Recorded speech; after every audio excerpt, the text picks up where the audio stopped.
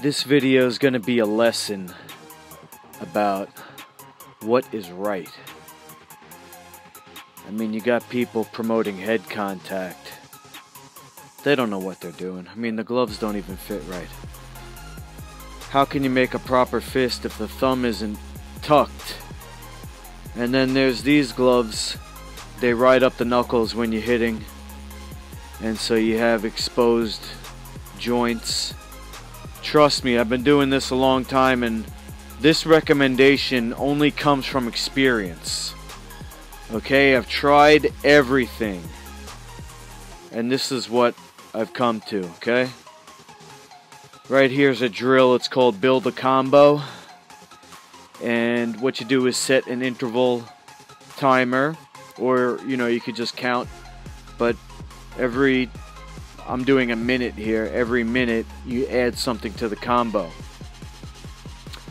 And so this is a sports specific exercise for MMA. Okay, and I tested these gloves. I did have to take out the bar in the middle here. And you might have to do that if you get a pair yourself. But it's easy. And then you can make a real fist. You know, people worry about hurting themselves when they punch hard. But you learn how to punch properly. And that's the important thing. It's not about getting a good punch. It's about being your best self. And that's how martial arts is a practice that you can do for your whole life. And I don't teach people to hurt each other.